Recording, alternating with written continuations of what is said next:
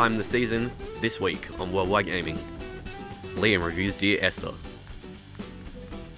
John looks at the top 10 long games. At Gamescom 2014, we talked with the co founder of Turtle Rock Studios about Evolve. And everyone's favourite, the bloopers. Hello and welcome to Worldwide Gaming. I'm your host Ryan, I'm Lysander. I'm Vince. and today we finally get to check out Evolve. Uh, me and Vince went to E3. Didn't get a chance to play it, unfortunately. The line was a bit long. I didn't know much about Evolve until I walked in the door, saw the massive, kind of scary sculpture. The, Well, uh, the Goliath. Yeah, believe. that thing was wicked. Yeah, um, but at Gamescom, uh, we actually got to play it and have an interview um, with the co-creator of uh, Turtle Rock Studios, which is pretty awesome.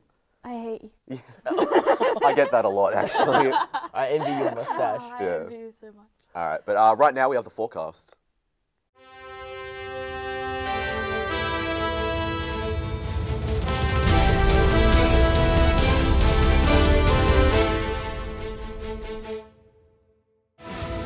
The sky is looking procedurally generated in the upcoming No Man's Sky. This ambitious title is coming in 2015 for the PlayStation 4 and PC. We're looking forward to seeing if a small indie team can pull off a game this big. We give it a 4.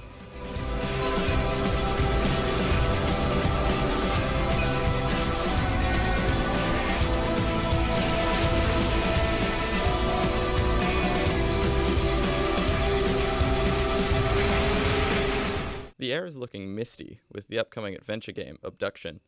Intended to serve as the spiritual successor to Myst and Riven, it looks like it could be a great game for fans of the series, so we've given it a 1.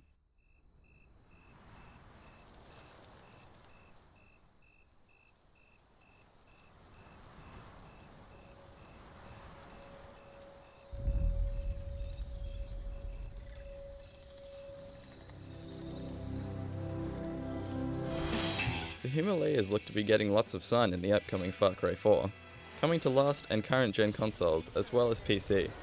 The WG team can't wait to be riding elephants and flying down chasms in our wingsuits, so we've given it a 5.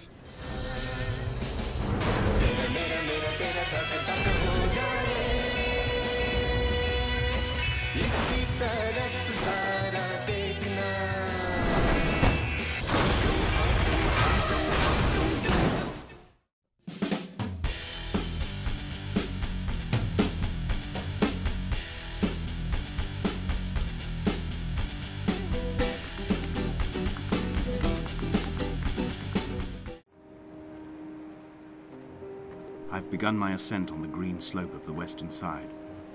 I've looked deep into the mountain from the shaft and understood that I must go up and then find the way under.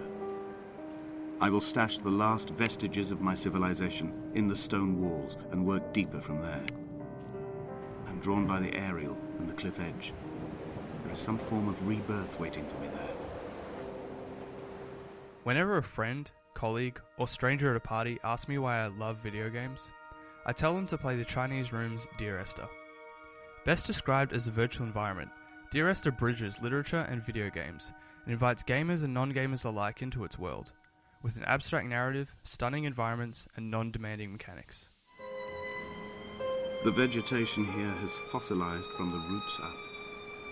To think they once grazed animals here, the remnants of occupation being evidence to that. Dear Esther is divided into four chapters and takes around one hour to complete overall. You begin your journey by a dilapidated lighthouse and spend the game carving a path through rocky beaches, abandoned farmsteads, and the cavernous innards of the island itself. Accompanying you are disembodied readings of letters to the eponymous Esther, blending accounts of the island's history with the anguished musings of its former inhabitants. Although it presents a somewhat cohesive narrative, Dear Esther is a largely abstract affair. I personally found a lot of enjoyment in forming my own interpretation of the game's meaning, but I can certainly see why some may see it as pretentious. The writing is heavy on metaphor and contradiction, and for players less interested in digging through multiple playthroughs, Dear Esther is probably too ambiguous to be enjoyed. Essentially, if you enjoy this type of game, Dear Esther is a must buy.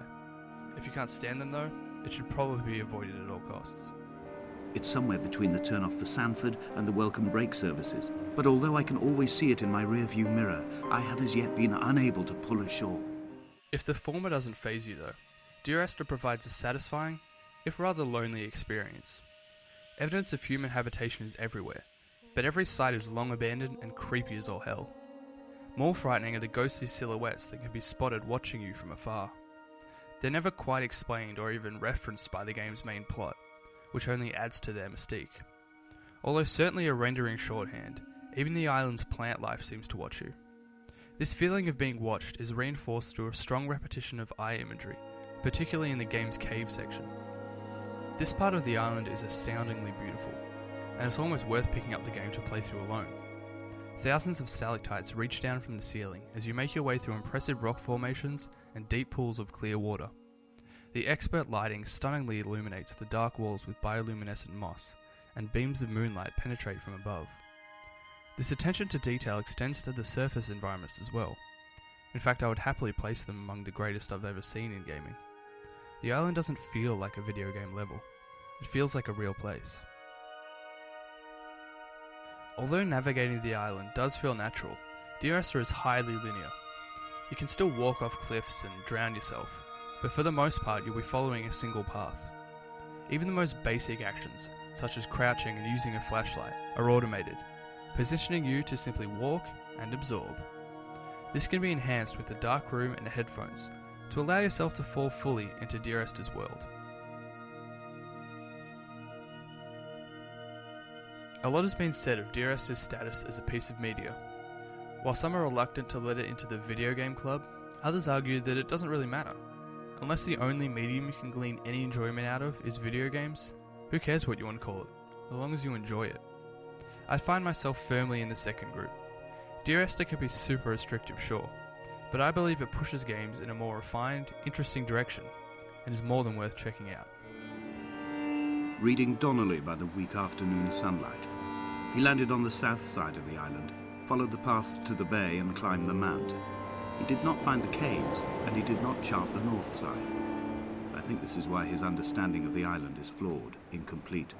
He stood on the mount and only wondered momentarily how to descend. But then, he didn't have my reasons. Hey guys, if you've been enjoying the show, you can head on over to Facebook where you can catch up on all the latest stuff we've been doing. You can also go to YouTube where you can watch past episodes, blooper reels, and extended cuts. And then we also have the WG cast on iTunes.